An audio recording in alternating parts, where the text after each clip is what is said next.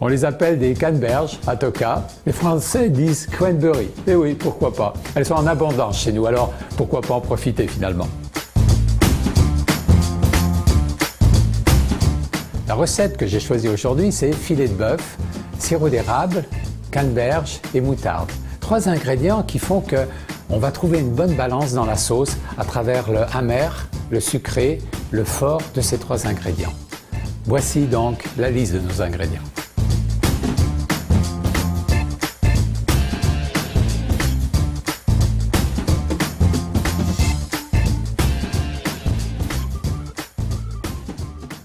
Pourrait faire cette recette avec plusieurs sortes de viande. J'ai déjà essayé avec euh, du poulet, avec du veau, avec du porc. Évidemment, avec le filet de bœuf, ça fait quelque chose de très très très bon. Un morceau de beurre, un peu d'huile d'olive, une poêle bien chaude pour pouvoir saisir notre filet de bœuf.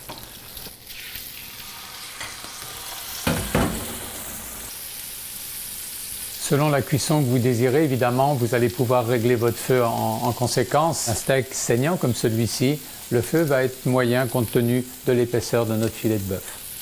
On comprend et on sait que plus une viande est élastique au toucher, et moins elle est cuite. Et bien sûr, le contraire va de soi, plus elle est euh, ferme sur le toucher, plus la viande est cuite.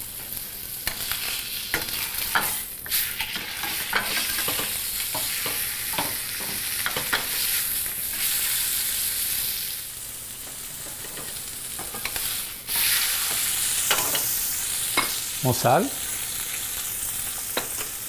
du poivre. La viande est, comme je l'aime, très saignante. On peut la retirer. On enlève l'excédent de graisse, on s'en débarrasse. J'ajoute quelques échalotes hachées. À ce moment-là, j'ai baissé mon feu un petit peu pour pas que les échalotes brûlent.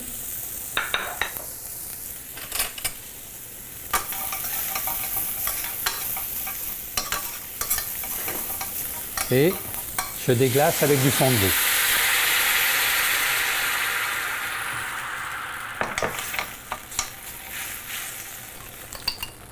Je rajoute un peu de moutarde de Meaux, un petit peu de sirop d'érable. Le sirop d'érable pourrait être remplacé par du miel, c'est aussi très très bon. On monte le feu et on va réduire le fond de veau, on va réduire la sauce, tout en enlevant les glaces de viande qui ont collé dans le fond de ma poêle lors de la cuisson du filet de bœuf. L'important quand vous mettez la moutarde de Meaux et le, sirop d'érable, c'est de trouver une bonne balance dans le goût de la sauce, que la moutarde de Meaux ne passe pas par-dessus le sirop d'érable et bien sûr le goût sucré de sirop d'érable ne passe pas par-dessus le goût de, de la moutarde. Cette balance est vraiment importante. Et l'amertume de la canneberge qu'on ajoute à la dernière minute, va compléter donc les saveurs de ce plat-là. Je cuis les canneberges juste à point pour pas qu'elles éclatent complètement. Je veux les garder vraiment entières.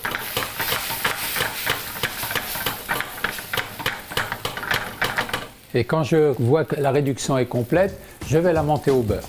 Monter au beurre, c'est mettre un morceau de beurre à l'intérieur de ma sauce et, par un mouvement circulaire, l'incorporer à ma sauce. Le beurre fond et va donner de l'onctuosité à ma sauce.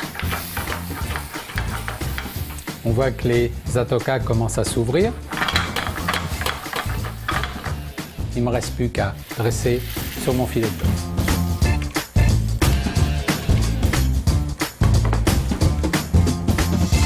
Des flocons d'érable.